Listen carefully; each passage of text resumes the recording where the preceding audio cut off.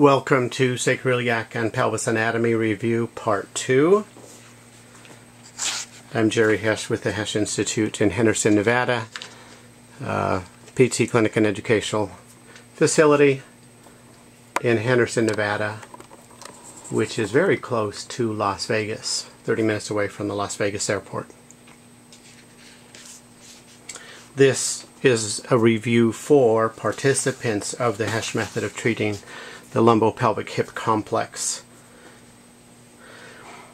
But we thought we'll, we would release it to the public as well.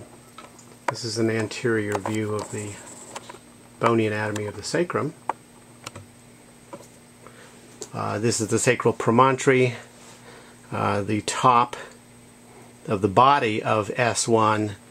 Um, the lowest lumbar disc connects to that and connects the L5 vertebrae to that segment. These big projections are called the ala or wings. Um, up here a little bit cut off in that image is the uh, facet joint from the sacrum where the sacrum connects to the ilium. And uh, these are the foramina and uh, here's the coccyx and the inferolateral angles are important landmarks.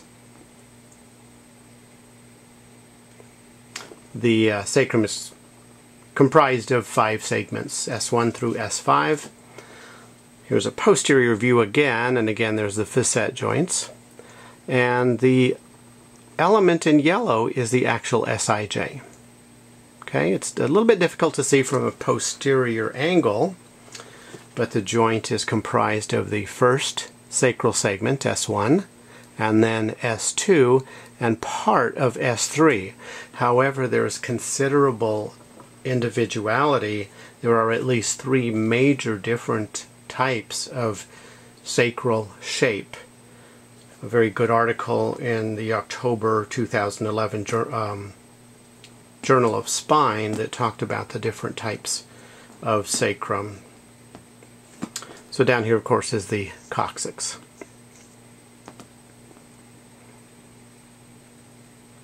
Note that there are four paired sacral foramina and the fifth sacral nerve comes out of the lowest margin here of the sacral, sacral cornua.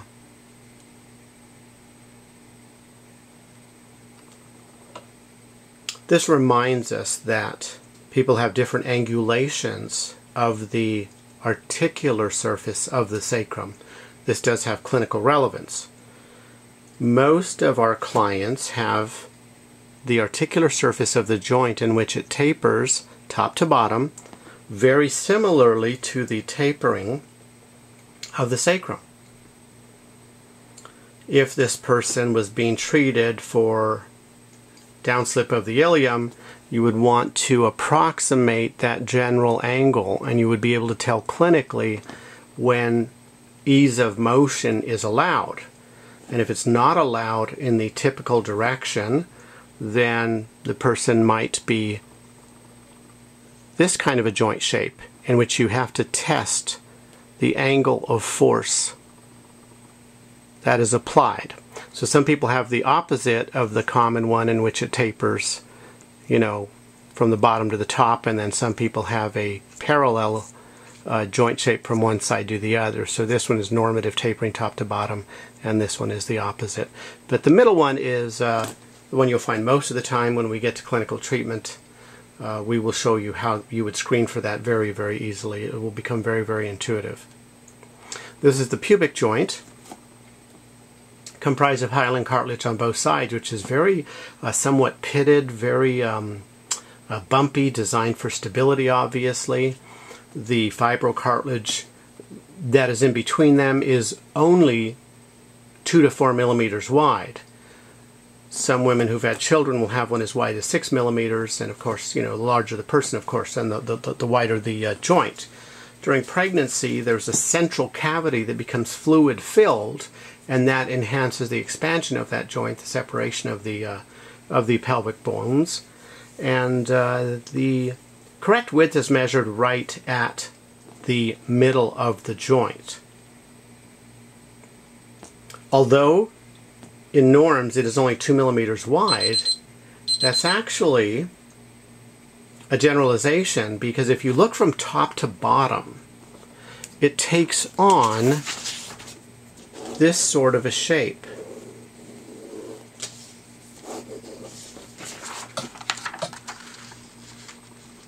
And you can see in the middle where, where it would measure 2 millimeters, but at the extremes it would measure much more than that. And please realize that as I've scribbled here, the rest of that is pubic bone here on the right. So to say that it's two, two millimeters wide in the center uh, doesn't give the whole picture. And that is also same for the ligaments. The ligaments that connect, such as the arch ligament below, which is very powerful. There's an anterior ligament six millimeters thick. That is remarkable. There's a dorsal ligament and a thinner posterior ligament. But those ligaments spread out very uh, elongated. So it really is a remarkably powerful joint, very, very strong.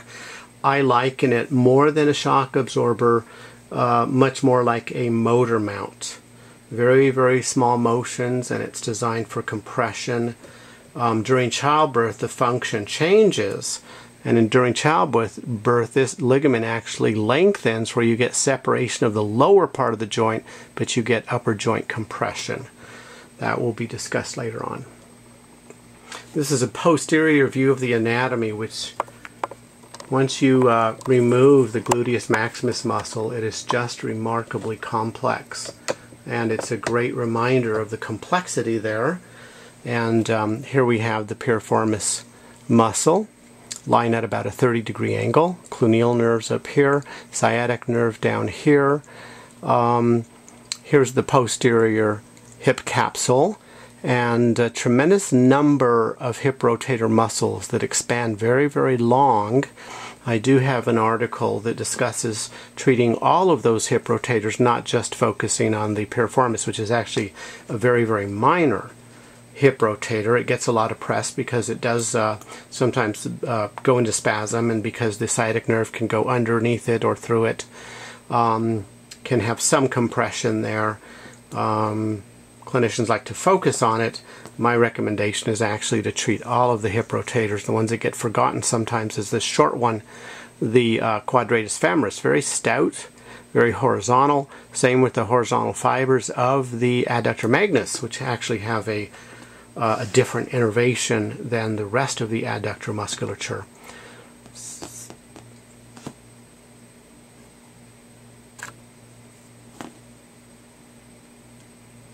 It's important to look at the structure in the sagittal plane, lateral view. And so this is a view of the right hemipelvis now. You can see the boomerang shape pointing anteriorly and inferiorly. Here's the uh, pubic bone, here's the ischial bone. Ischial tuberosity is down here. Ischial spine is here. PSIS is here. Iliac shelf up here. And the ASIS. So this is the right side of the sacrum, which would, of course, flip over and then articulate with the ilium there.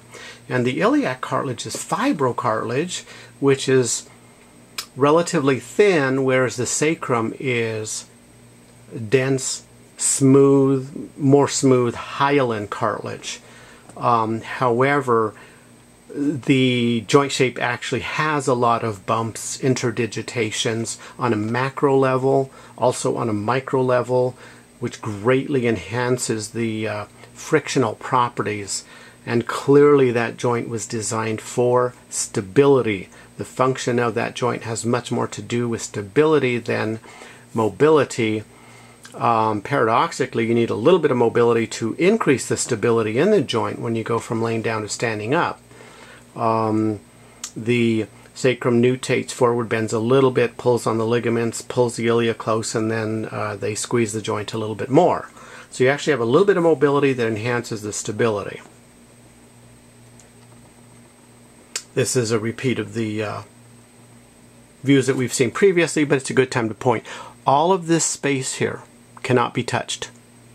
This is a very, very craggy, very bumpy, bumpy uh, area, full of ligament, chock full of the short and long sacroiliac ligaments, and especially the very powerful interosseous ligaments. And if someone were to sustain enough trauma that bone actually would not, I'm sorry, that ligament would actually not tear. The bone would break prior to that ligament tearing. So this is 10 minutes. Uh, I will just uh, go over by a very, very short amount. And uh, this repeats the fact that the joint is comprised of the first sacral segment, and then the sec second sacral segment is at S2. Now, if you were to find the PSIS on the ilium, it would be lateral to S2. So the PSIS is an important landmark, and then only part of S3 comprises the lower part of the joint. And so here we remind that there are all kinds of uh, bumps and crevices, and there's a central elevation in the center of the sacrum, and on the ilium there is a bump called Bonnaire's tubercle. And there's a very uh, stout ligament back here, a very stout uh, ligament called Illi's ligament. Very nice study done by a physical therapist uh, on the properties of that ligament, which has less elastin than the other SI ligaments. When we talk about birthing, I'll talk about how that uh, may act as a stop for transverse plane motions. nice lateral view of the ligaments and the uh, greater and lesser sciatic notches. And you can realize that although uh, true things like upslip or downslip, where the ilium is actually moving on the sacrum as opposed to just hip hiking caused by muscular function, um, a true downslip can alter the dimensions of this opening and the roof of the sciatic notch is actually quite sharp. I had a human specimen absolutely sharp. It was remarkable. And um, we do have some dramatic YouTube videos of treating a child who had a downslip injury. And uh, we were able to help him with one, one treatment after he had uh, been to multiple, multiple clinicians, um, hospitalizations, etc., etc. And that video is uh, under the Hesch Institute YouTube, and it is called downslip that looked like upslip. Uh, but I'm not sure if that's the exact term, but both terms upslip and downslip are in the title. There's also a view from, uh, in the fourth video we interview his father and uh, his mother does a separate uh, video. So I'm going to stop here. I've probably taken you to 12 minutes and I apologize and um, hopefully we can wrap this up in one more uh, shorter video. Thank you.